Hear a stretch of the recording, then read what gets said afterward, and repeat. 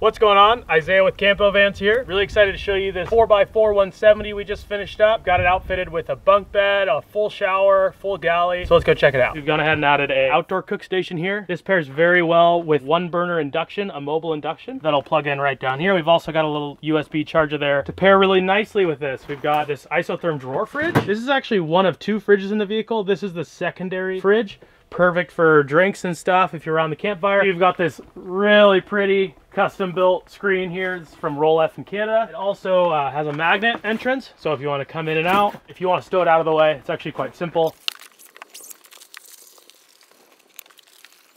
There you go. We've kept it really simple in the galley here. Two burner induction, a nice Ruvati deep sink, all bamboo counters, plenty of drawer storage. Because of this large induction unit, if you are cooking, you're gonna need some extra prep space. That's why we've put this fold-up table here. This can all be really nicely closed off for privacy and warmth in the winter or coolness in the summer. Got a really cool curtain here. Magnets into place, really nice. It's pretty rigid curtain. It's got some thick foam in there for insulation. Uh, made by Touareg. Pairing with these swivels is a Freedman seat. This one's covered in a nice uh, luxurious black vinyl. We'll also go ahead and pull out our bamboo table here. And I'm really enjoying a cool breeze off the ocean right now from this turn window. They've got blackout and a full bug screen. We've got a nice bit of storage here, as you can see with a couple charging ports built in. Because this is a 170 wheelbase, it gave us the opportunity to do a little more storage along with the shower back here. Right here we've got a nice closet unit with a couple of drawers. Both these drawers have chargers in the back so you can leave electronics in there. A really nice hanging closet. This one's got a little light in it, a nice touch. One of my favorite things about this build is all the cedar TNG. We've done a lot of detail here. Really nice kind of little nook out here. You'll see another one in the back, very similar and of course the whole ceiling. Really warms up the space. Our top compartment houses all the electronics and systems controls. This switch base here, a controller for our Trigger 6 system, which is a Bluetooth based system. So that means we can use the switches in the cabinet or control everything on the iPad here. We can also check all of our Victron systems on this and check our water tank level. He's gone with electronic dump valves in this fan, which is a really cool feature. It's definitely very convenient. So moving back, we've got our nice full-size shower, doubling as a bath uh, with a Thetford cassette toilet. We want to keep the showers in these things as close to showering at home as you can get. We've got the exhaust fan to pull the steam out of the van. We've also got a nice teak grate here. This empties down into a 20-gallon gray water tank under the van. So acting as a divider between our bunk bed sleep system and our galley we have a tall fridge here got an integrated freezer love how this makes you feel like you're a little closer to home now we've got our sleeping area as you can see i'm standing in a large drawer here we'll get to that in a minute now you may be wondering how a bed exists in here, and I'll show you. So we'll start with the lower level, and then I'll show you the upper level. Lower level is a really easy deploy.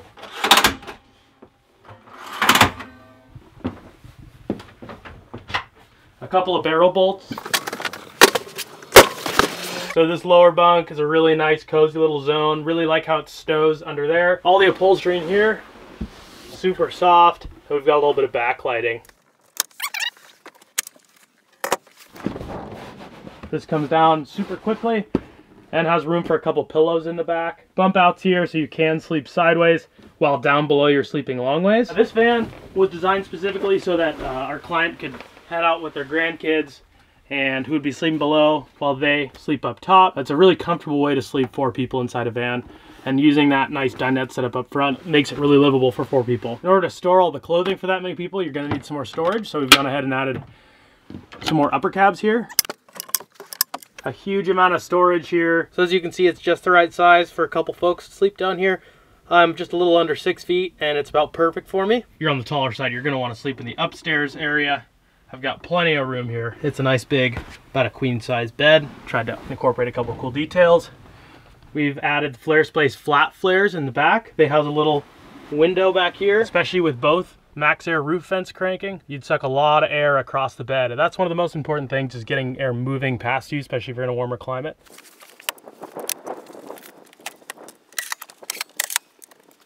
Hello, dog. I'm getting a call anyway.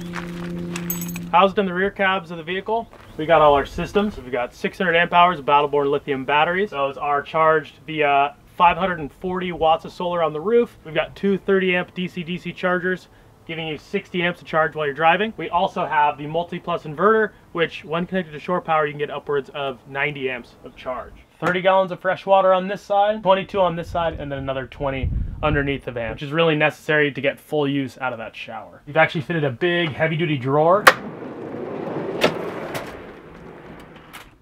in order to easily load and unload those bikes. Instead of trying to wrestle with a bike rack on the back or anything like that, you can keep them locked away and safe inside the vehicle.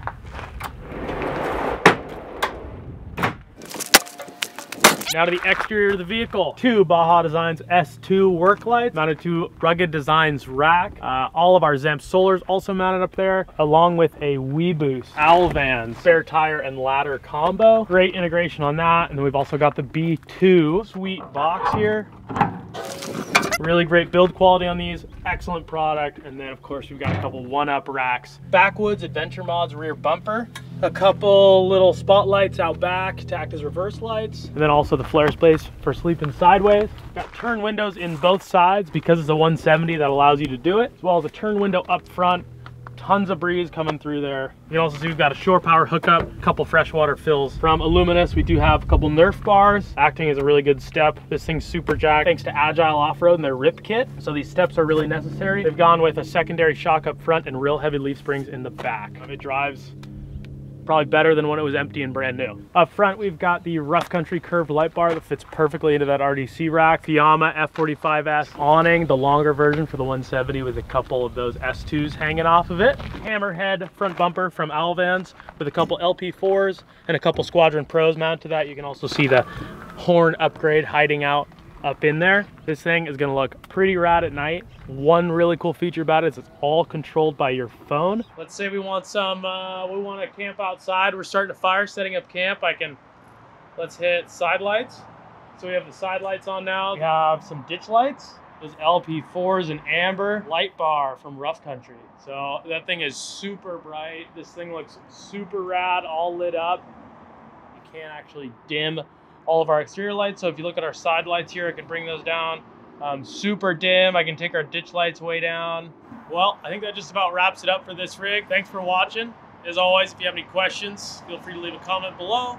Check us out on Instagram or over on our website. It's getting pretty late. I think the neighbors are probably tired of being blinded by all these lights and it's far past our bedtime. So we're out of here. See you next time.